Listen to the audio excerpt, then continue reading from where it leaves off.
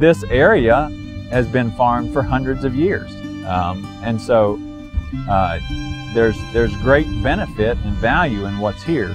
How can I improve it? And you know, hopefully when my kids take over the farm, I've got better ground than what I'm standing on now. It, everything is yield driven. Everything is economic driven. So this no-till is making economic sense. Or we wouldn't be going down this road. We would have to abandon this road if it weren't um, paying off for us by making us more efficient, leaner, meaner, using less resources to produce more crops. You know, we really have a, uh, a system that's working and we're, we're actually helping the environment. With continuous no-till, we spend half the time on the tractors we used to. We're spending a lot more time with our families. We're farming the same amount of land or more land in less time and making, making more money.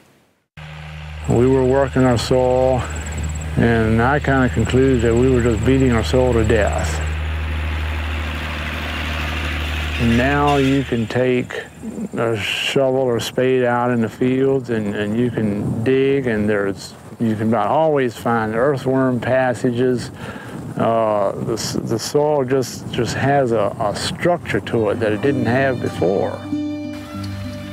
And you got to remember the soil is alive. That's what it is. It's nothing but an organism. It's a living thing, pretty much. And you need to feed it just like you do any other thing that you raise in that feed. There's just so many benefits. I don't even I don't even know where you would stop at. You know, even if I had to pay you to let me plant no-till, I would plant no-till. You know, so that's the way it is. More and more farmers all across Virginia are making the switch to soil building, continuous no-till systems. These farmers are cutting costs and saving time by planting all of their crops year in and year out without tillage. They're also maximizing the soil benefits that come with less disturbance by adding in cover crops, crop rotation, and other practices. As diverse as they are, one thing these farmers all have in common, they tell us that they are gaining ground.